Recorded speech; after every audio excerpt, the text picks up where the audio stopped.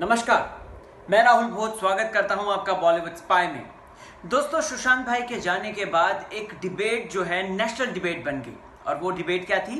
वो थी नेपोटिज्म कि नेपोटिज्म जो इंडस्ट्री में है, जिस तरीके से नेपो किड्स आगे बढ़ रहे हैं, जिस तरीके से नेपो किड्स विदाउट टैलेंट जो आगे बढ़ रहे हैं, वो कहीं ना कहीं गलत है और जनता एक एक करके जो है बदला ले रही थी। दोस्तों, जनता एक एक करके जो है सेलिब्रिटीज को अनफॉलो कर रही है, जनता अपना रिएक्शन दे रही है बेसिकली अपना उफान दिखा रही है कि देखो हमने तुमको बनाया तो हम ही तुमको नीचे भी कर सकते हैं। सो so, यहाँ पे जनता ने क्या किया दोस्तों? काफ़ी सेलिब्स को सोशल मीडिया पे ट्रोल कर दिया उन्हें अनफॉलो कर दिया उनके यू नो मीम्स भी बनने लग गए। और ऐसे में काफ़ी सेलिब्स ने तो दोस्तों अपने इंस्टाग्राम अकाउंट में से जो कमेंट सेक्शन होता है वो बहुत प्राइवेट कर दिया। ट्विटर छोड़ के चले गए कुछ सेलिब्रिटीज अब आपको बताना चाहता हूँ आलिया भट्ट की एक बात।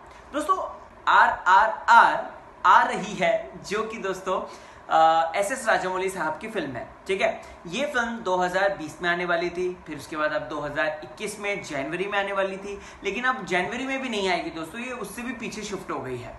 इस फ़िल्म के अंदर न सिर्फ़ हमारे बॉलीवुड के अजय देवगन साहब है, बल्कि साउथ के दो बड़े स्टार हैं, यानी कि जूनियर एनटीआर और प्लस रामचरण जी। और इसी में दोस्तों, आलिया भट्ट का भी नाम जो है शामिल हो गया था कि आलिया भी शूटिंग करने वाली है। अब दोस्तों जब ये नेपोटिज्म और ये पूरा डिबेट चल रहा था, इस दौरान जो है, मैंने ही आपको खबर बताई थी कि जो एस एस राजा मौली हैं उन्हें सोशल मीडिया पे मैसेजेस आ रहे हैं कि आलिया भट्ट को मत लो आलिया भट्ट ये, वो। बहुत सारे आलिया के अगेंस्ट हो गए थे सुशांत सिंह राजपूत के चाहने वाले, जो उन्हें दिल से सपोर्ट कर रहे थे।